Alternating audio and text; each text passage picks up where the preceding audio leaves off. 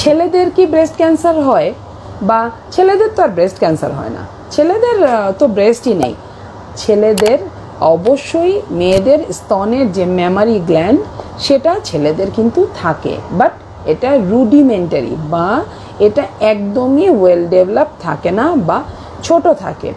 এখন কোনো কারণে, অসুস্থতার কারণে কিন্তু ব্রেস্ট ক্যান্সার পর্যন্ত ছেলেদের হতে পারে।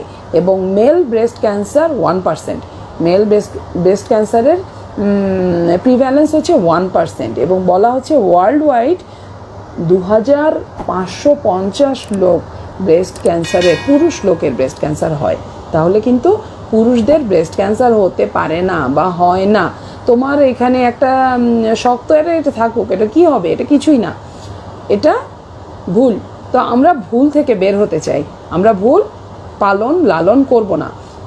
একটা কথা আমি বলতে চাই, যেহেতু এটা আমার পেজ আমার লিবার্টি তো আমার কাছে মনে হয় নলেজ খুব ভালো মার্ভেলাস নলেজ আপনার যদি কোনো একটা ব্যাপারে নলেজ থাকে ভেরি গুড না? তাহলে আপনি এটা সম্বন্ধে জানতে পারবেন, মানুষকে জানাতে পারবেন। আপনার যদি নলেজ না থাকে ইভেন দেন এটা গুড এতে কোনো অসুবিধা নাই। আপনি একটা মানুষ না জানতেই পারেন, আপনি আবার পরে জানবেন, ধীরে ধীরে জানবেন বা এমন কেউ জানে তার কাছ থেকে সাহায্য নেবেন।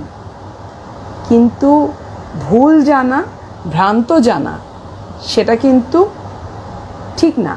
সেটা থেকে আমাদের বের হয়ে আসতে হবে। আর সবচেয়ে ডেঞ্জারাস কোনটা বলেন তো?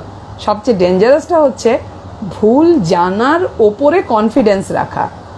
যে আপনি ভুল জিনিসটা জানেন এবং সেটা খুব কনফিডেন্স রাখেন এটার উপরে। সেটাই কিন্তু কুসংস্কার।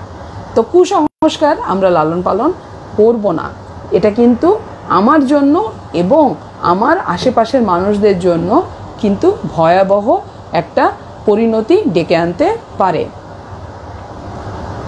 বলছি মিথ বা ব্রেস্ট ক্যান্সার রিলেটেড মিথ নিয়ে আলাপ।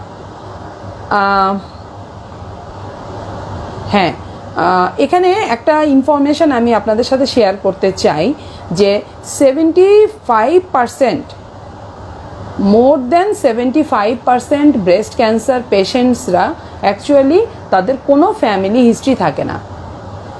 মোর দেন পঁচাত্তর ভাগ, শতকরা পঁচাত্তর ভাগের বেশি মেয়ে যারা ব্রেস্ট ক্যান্সারে ভোগেন, এদের অ্যাকচুয়ালি কিন্তু ব্রেস্ট ক্যান্সারের কোনো ফ্যামিলি হিস্ট্রি থাকে না। তাহলে ব্রেস্ট ক্যান্সারের ফ্যামিলি হিস্ট্রির সাথে আমাদের কিন্তু যে ভ্রান্ত ধারণাগুলো আছে, সেটা আস্তে আস্তে কিন্তু আমাদের মন থেকে সরিয়ে ফেলতে হবে।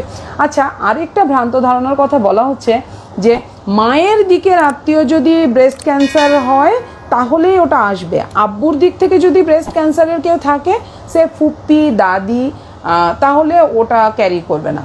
এটা ভুল। ক্রস যে কোনো ধরনের ফ্যামিলি হিস্ট্রিতেই আইদার ফ্রম মায়ের সাইড অথবা বাবার সাইড যে কোনো দিক থেকেই যদি ক্যান্সারের সম্ভাবনা থাকে, তাহলে কিন্তু যে কোনো ধরনের চাকা হলে অবশ্যই ডাক্তারের পরামর্শ নিতে হবে, অবশ্যই এটা কনসার্ন নিতে হবে এবং এটাকে আপনার প্রপার ইভ্যালুয়েশন করতে হবে। আচ্ছা আমাদের যে ব্রেস্ট ক্যান্সারের ইনভেস্টিগেশন করা হয় এক্স রে করা হয়। তো আমরা অনেকেই জানি যে রেডিওলজিতে তো এক্সপোজারে ক্যান্সার সম্ভাবনা হয়। তো তার মানে হচ্ছে যে, আমি কেন শুধু শুধু বছরে একবার করে ব্রেস্ট ক্যান্সারের জন্য এক্স রে করব বা ম্যামোগ্রাম করব, এতেই তো আমার ব্রেস্ট ক্যান্সারের সম্ভাবনা বেড়ে যাবে। এটা একটা ভুল ধারণা। বলা হচ্ছে যে মিথ হচ্ছে যে mammogram gifts of radiation exposure তো অ্যাকচুয়ালি ম্যামোগ্রামের যে radiation exposure each is very very limited and it we it is not suppose to মানে কজ ইউ মানে ব্রেস্ট ক্যান্সারের এখানে বলা হচ্ছে the level of exposure is regulated by FDA and other agencies and falls well medical guide, guideline established as to ensure the patient safety. যে আমাদের পেশেন্টের সেফটিকে কিন্তু মাথায় রেখে মেমোগ্রামে রেডিয়েশনটা দেওয়া হয়। সো আমরা এটাকে নিয়ে বেশি অ্যাপ্রিহেন বা আমরা বেশি দুশ্চিন্তা বা আমরা এইটার দুশ্চিন্তায় কিন্তু বড় চিকিৎসা মিস করব না।